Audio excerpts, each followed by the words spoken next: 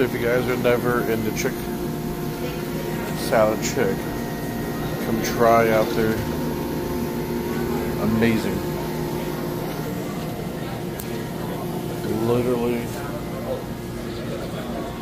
their dining room is literally about as cute as you can get. Looks like a hotel.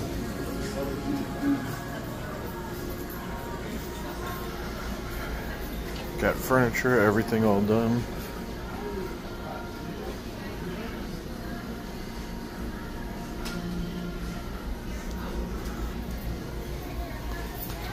Excuse me. How you doing? Hi, how are you? Beautiful, beautiful place. Furniture. They got the tables inside. And it is a veteran owned business. Okay. Those are the hours. The outdoor sitting area. Very beautiful. But that's actually the menu, so you see it. You get one scoop, two scoops, and you can substitute a side for another scoop.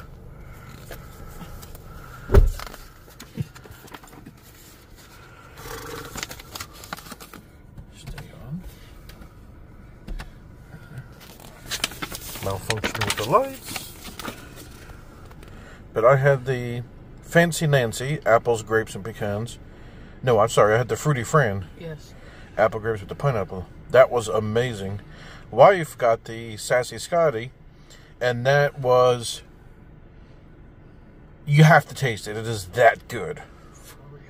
So so good. But if you want to look at those, just pause it.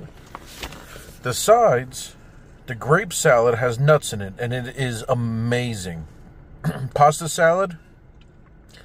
Okay, I'm going to put say this out there for being a Southerner. I was a transplant, so I was from New York, but I was raised here in the South. I think their pasta salad may be better than Publix. And the mac and cheese is a standard old school mac and cheese. Thick and yummy. and don't forget, to get a cookie with your meal. So that was awesome.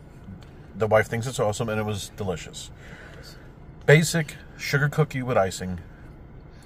And not stale and crunchy. It was yummy. My only issue is I have not come here earlier. Literally.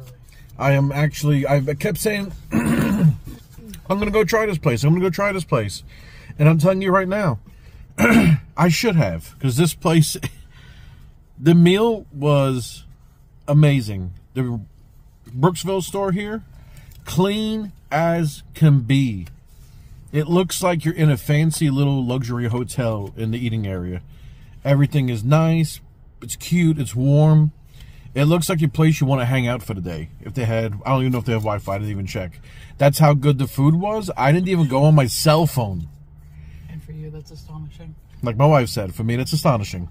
Because it's like my newspaper. I literally read, go on stuff, look stuff up, look for tuning kits for my truck if I can find one ever.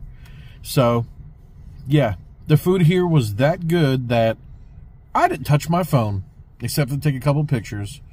I usually would have done a little video, but after I tasted the first forkful, yeah, I uh,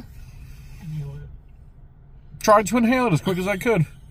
The food was amazing. It was literally that good.